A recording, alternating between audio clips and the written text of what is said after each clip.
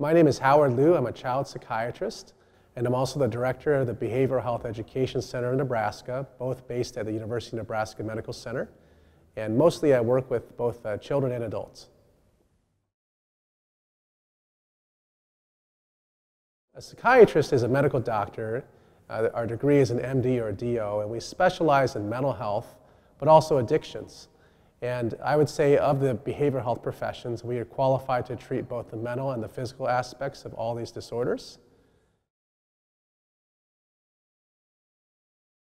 Uh, most of us work in a variety of settings. Uh, it could be outpatient, where you're seeing folks walking in from office settings, uh, inpatient, which is more serious, uh, if you have a crisis in mental health, uh, and anywhere in between, hospitals. Uh, we often work in settings that are very underserved, like uh, prisons and correctional settings, and often in the community as well. Uh, some of us specialize in special settings like working in a veterans hospital with the military, uh, hospice for end-of-life care, and, and, other choices. the bottom line is that there's a, a very, real huge shortage of psychiatrists across the country. There might be 45,000 in the US but most of them are approaching retirement age at a pretty quick rate, so we want to really recruit the next generation. So the three things you probably need as a psychiatrist are uh, good communication skills, uh, critical thinking skills, and a sense of empathy, particularly for underserved or suffering patients. Uh, communication is the first part, and that's really important because a lot of what you gather is not going to be through ordering tests, but really talking to people and you have to build that relationship. So I would say that psychiatrists are generally thought of as probably the most skilled interviewers in the practice of medicine. Uh, critical thinking is also really important because after you talk to somebody, you have to figure out what's really going on. And it's complicated because there's a mix of social factors, uh, biological factors about their family history, and also things that might contribute, like other medications they're on and other physical illnesses. So you got to tease those things out and choose the right treatment for your patient.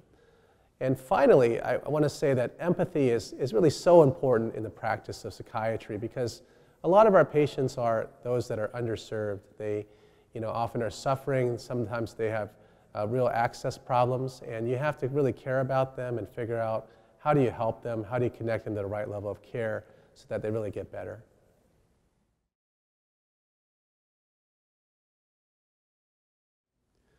So to become a psychiatrist after high school, it takes you about 12 years, which sounds daunting, but it really goes quickly because they bundle it into three parts, really college, and then medical school, and then residency.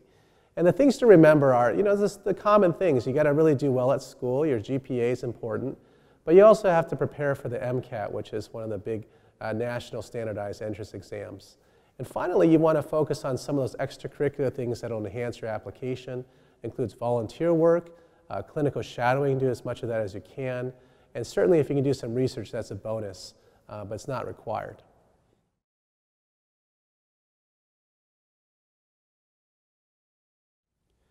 You know, I decided to become a psychiatrist sort of by accident, and actually it was in my third year of medical school, in my very last rotation, which is the year when you decide your specialty. I was assigned to the Veterans Hospital, the VA hospital, and a substance use outpatient clinic, and I was working with veterans in these uh, groups. And actually, my resident, uh, who I reported to as a med student, was out uh, with an injury, so I got to run the groups and really spend some time uh, with these vets. And as I heard their stories about serving overseas in Vietnam, about being in special forces in Panama, you know, I really understood just what this degree of sacrifice was. And I understood too that every person had a story to tell and that using some of the techniques of therapy and some of the medications, that I really could help them and really make a difference. So that was what really what inspired me to go into the field.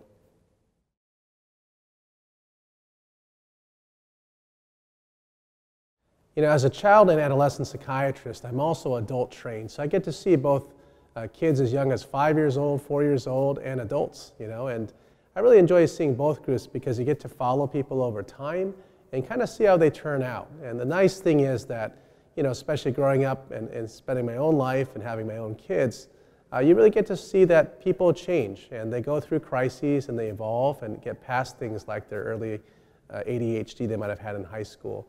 Um, and you get to see also, though, that sometimes things come back, like depression. So you have to follow things and really have a good relationship. And you have to be able to talk with them very honestly about struggles that they're having. So it's important because you have a blend of the science and this relationship that really carries you through. And one of my favorite quotes is from actually a Scottish psychiatrist, R.D. Laing, uh, who said that psychiatrists really become, must become a fellow traveler with his patient.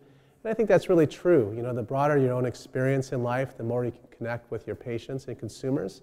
And I think that really helps both of you along the journey.